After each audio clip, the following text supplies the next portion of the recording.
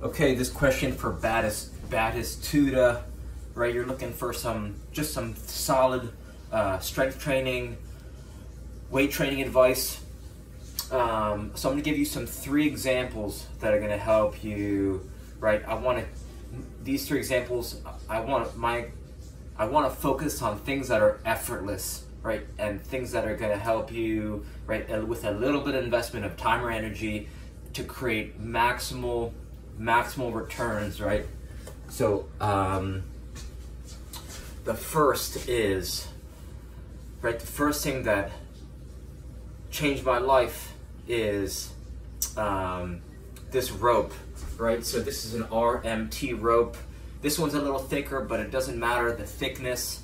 Um, you want to go to your local hardware store and and get and find some soft rope, and you want it to be as long as you are tall, right? So I'm 5'9", so this is about a six foot, maybe a seven foot rope, but you can tie knots if it's a little longer, but go longer, right? If they say they can't cut it in, do half half feet, then you want to go a little bit longer. So let's say you're five, five, uh, five nine or five ten. Go six foot. If you're six four, if you're six four or six five or six six, go seven feet. Right? You kind of want to go a little bit longer than you're tall because you can always knot it down and be the right length. The reason why you want to learn this rope flow is because um, because there's a rhythm to the game of soccer and there's a rhythm to the game of life. And what this rope flow will allow you to do is um, synchronize your body from head to toe,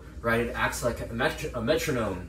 And a metronome is a tool that helps musicians musicians keep a tempo.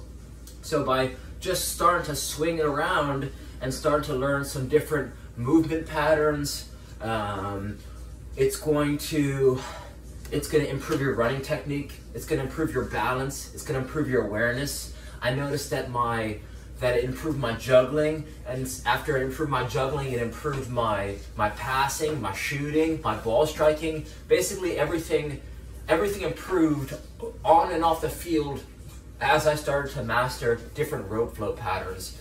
And you start to learn some simple patterns, and then you start stacking patterns on top of each other and just turns into a fun, into a moving meditation, right? Just a fun warm up, and you're bending and twisting your spine.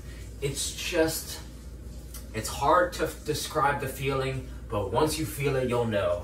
Um, and right, like this is coming from someone who used to not only not only have I trained with one of the top five strength coaches uh, in the United States who passed away last year. Um, right? I used to squat, I used to squat upwards of 400 plus pounds. I used to leg press, leg press uh, 10 plates, right? Um, this is coming from a, a, weight, almost a gym, like a meat, uh, like a gym rat. I used to be a gym rat, to be honest.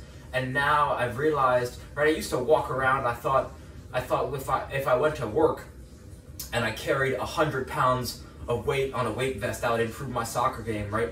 I've made so, countless mistakes in weight training and thinking that it would translate to improve my soccer game.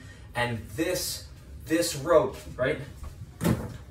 These ropes, these ropes are the tool that are really gonna create long-term positive results because they make you, they improve your running technique, they improve your balance, they improve your rhythm, they improve your awareness of your body, and you just start to move like a ninja on the field, right? You're moving, gonna move like a friggin', like a, like water. You're gonna start moving like water. That's what it's gonna do. So um, this is the first thing you wanna check out. You could also uh, check out David Weck, W-E-C-K, and then just type in RMT rope flow.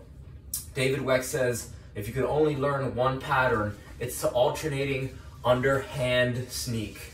And it looks simple, but it's a little bit challenging. It took me two days to learn. And the way you learn is first you go underhand, right? Underhand swing. Then you take your opposing hand and at first, first you grab your elbow, then you grab your wrist, then you grab both ropes on one side, and then you alternate, right? Swinging the sides here. Right, first, then you're swinging here. And then from here, you you say this pattern out loud. You go wings wide, pick a side. So you go wings wide, pick a side.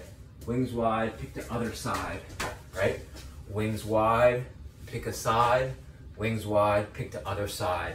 It took me two days to master, so if you don't get it in the beginning, um, that's okay, right? You're not supposed to get it quickly. It's a little bit challenging, and that's for a good reason. Um, so get yourself a little bit length of rope. You could order one online, but it I think it's um, it's more fun if you make your own, right? I got some just some electrical tape. You could use duct tape. Uh, you could even use two two shoestrings tied together. It doesn't really matter what you use as long as you start um, just swinging it around and that's where that beauty is. You don't even need to know any patterns, you just start swinging around and moving. That's all it is. So this thing is gonna change your life. So that's the thing you wanna invest a little bit of time into, the alternating underhand sneak. That's for soccer players. Um, the second thing that you can, that you wanna invest in is, in terms of uh, weight training, and uh, that's gonna directly apply to soccer, um, most most soccer players warm-ups are poor, right?